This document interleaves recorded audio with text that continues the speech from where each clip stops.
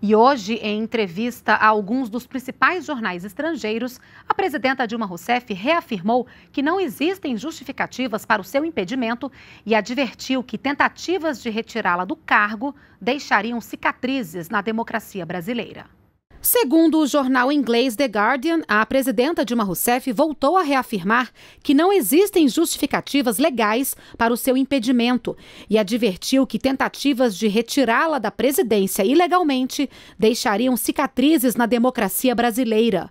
Ainda de acordo com o jornal britânico, na avaliação da presidenta, a oposição não aceitou a derrota nas eleições presidenciais de 2014 e aposta em um cenário de quanto pior, melhor. A presidenta também expressou indignação com a divulgação do grampo de uma conversa dela com o ex-presidente Lula.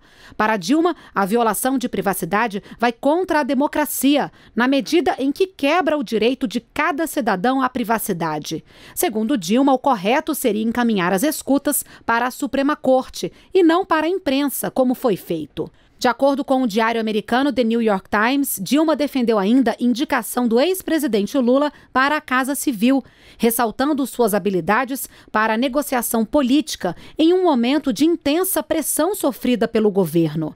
A presidenta fez questão de ressaltar que a nomeação de Lula nada tem a ver com uma suposta tentativa de protegê-lo de investigações. De acordo com o jornal espanhol El País, Dilma Rousseff afirma que querem sua renúncia para evitar que a tirem do cargo de forma ilegal.